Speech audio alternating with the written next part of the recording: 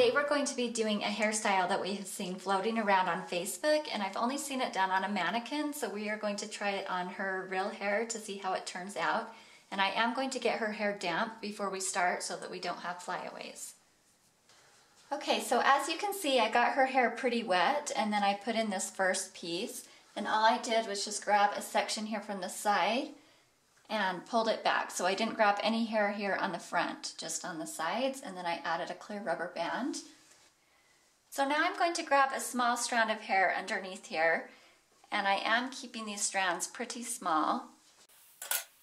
And then I'm going to lift up this first section that I put in and just stick my fingers right underneath there and grab this section and pull it up and over.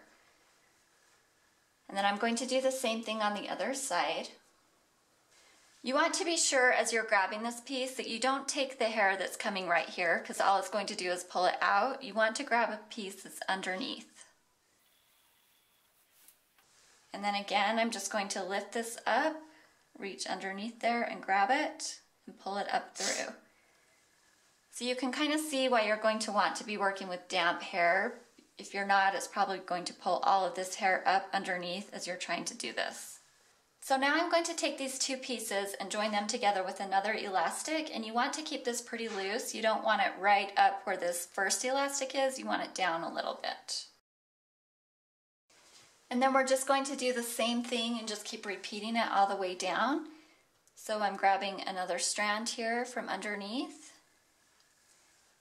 And this time I'm going to bring it up underneath this second one that I put in. Same thing on the other side.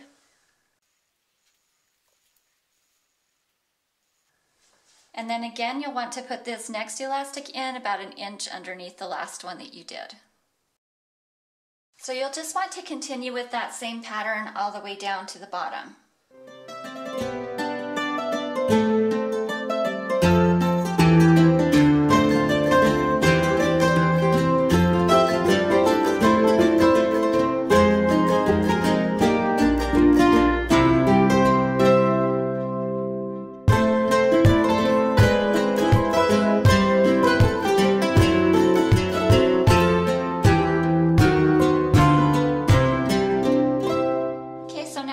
As far as I want to go. I'm going to take these last two pieces and just bring them around to the back and then tie everything together.